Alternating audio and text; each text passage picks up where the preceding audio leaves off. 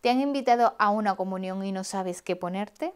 ¿Eres la mamá del niño o la niña de comunión y sigues sin encontrar el modelito perfecto? No desesperes porque en el vídeo de hoy te voy a enseñar 6 propuestas ideales para ir de comunión que estoy segura que te van a encantar. Y además vamos a estar hablando sobre los errores y aciertos que debes tener en cuenta a la hora de elegir tu outfit. Hola, soy Carmen Pérez, tu asesora de imagen virtual y estoy aquí para ayudarte a sacar más partido a tu armario, dejar de gastar dinero en ropa que luego no te pones y tener claro cómo vestirte en ocasiones como esta. Antes de empezar a ver los looks que te propongo para esta ocasión, hagamos ese repaso de errores y aciertos que debes tener en cuenta. Recuerda que una comunión o un bautizo no es una boda por lo que nuestro atuendo ha de ser un poquito más relajado, menos festivo, por lo que nada de tocados, pamelas, vestidos largos, todas esas cosas propias de celebraciones incluso más nocturnas. Piensa que es un evento de día, por lo general de mañana, por lo que lo ideal es optar por cortes elegantes, sencillos y en colores claros, pastel e incluso blanco.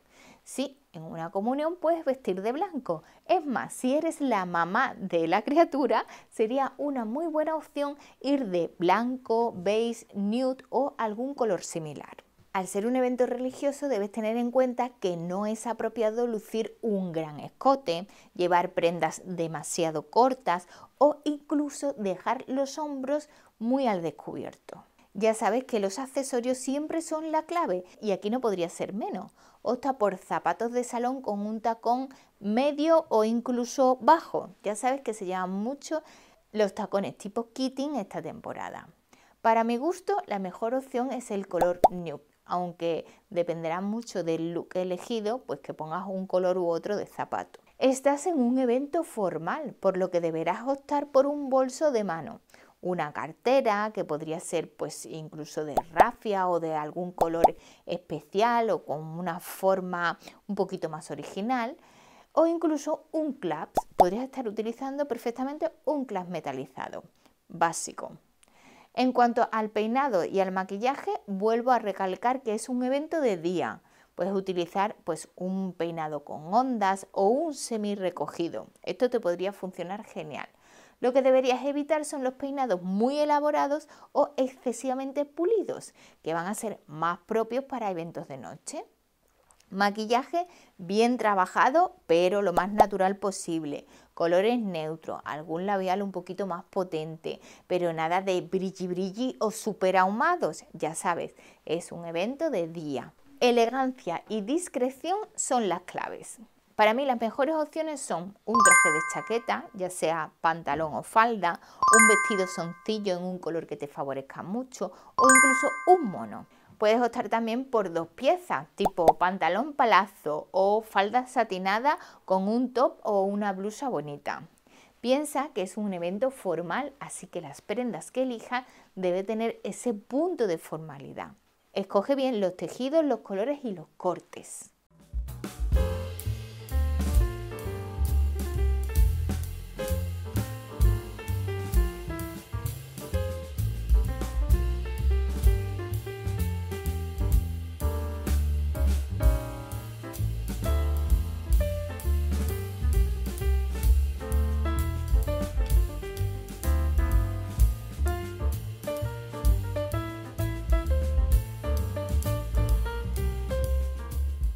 Y ahora que lo tenemos más o menos claro, vamos a ver mis propuestas. He seleccionado 6 looks con prendas de Zara y Mango, para que veas que tienes un montón de opciones muy bonitas y a precios realmente asequibles. Y además me he ido a las tiendas y me lo he probado todo, para que veas cómo me queda a mí y te puedas hacer una idea pues de cómo te podría quedar a ti. El primer modelito es este conjunto de dos piezas de Zara. El color me encanta, un rosa bebé que ya te conté que es muy tendencia en esta primavera 2024 y que me parece ideal si eres la mamá de comunión.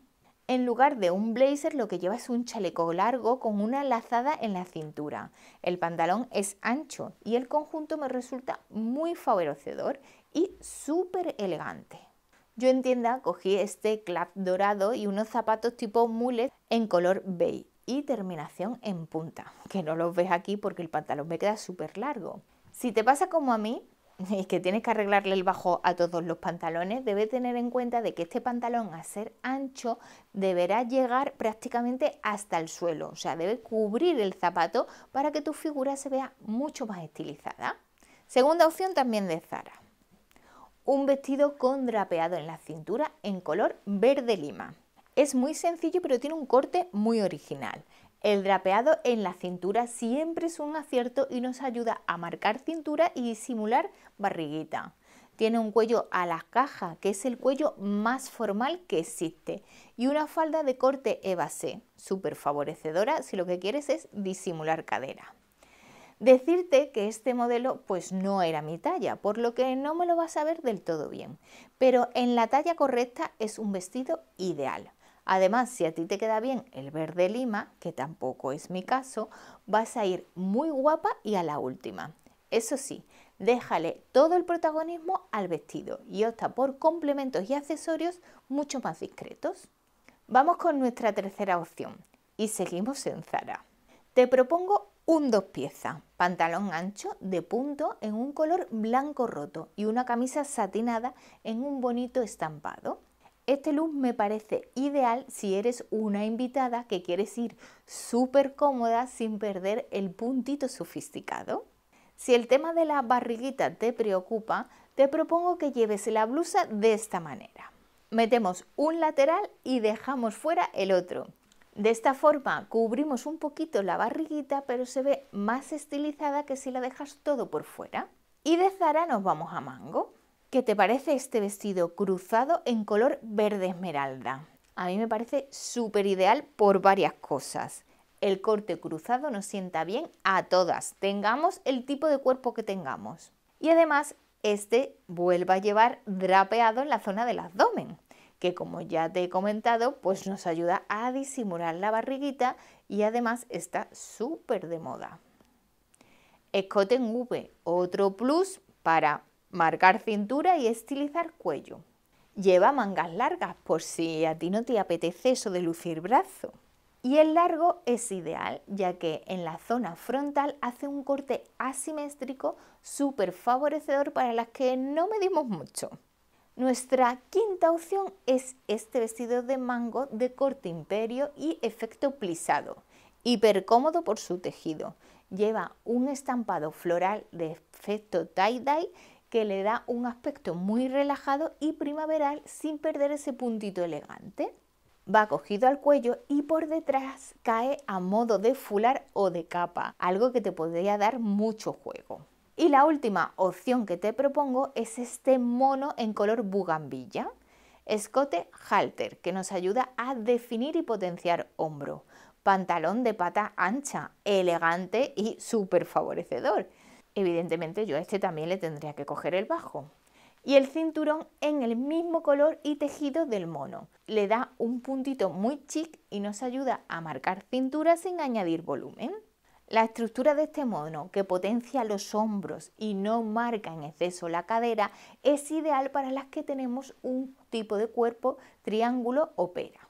Como llevan los hombros demasiado al aire, yo para la ceremonia religiosa le añadiría por encima una chaqueta que podría ser tipo blazer o una chaqueta corta. Ya sabes que las chaquetas cortas son otra de las tendencias de las que te hablé en el vídeo de la semana pasada. Pues estas han sido mis seis propuestas de look para comunión con prendas de Zara y Mango que ahora mismo puedes encontrar en tienda.